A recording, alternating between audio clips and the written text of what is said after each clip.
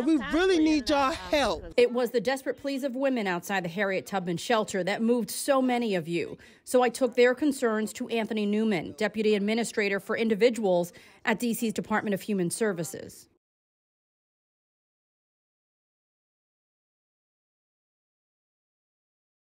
We operate a shelter where we take anyone who needs a bed. Newman says DHS has a process to file complaints and investigates them all. Because to be honest with you, that's how we continue to make improvements.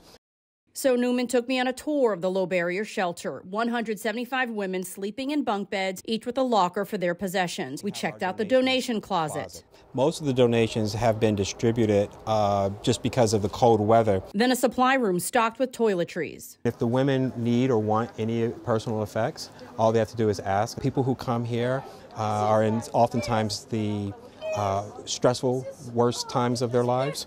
And, and with that, we quickly left to visit the first floor kitchen. On this night, Henry Soul Food Cafe provided chicken dumplings and noodles for diabetics, chicken thighs, and veggies. Women complained they were going hungry, but I'm told they can ask for seconds, even thirds. On Wednesdays, DC Central Kitchen even provides an additional meal for breakfast. And milk is here. Cereal, muffins, fruit, and milk. All DC shelters stopped serving lunch after the pandemic.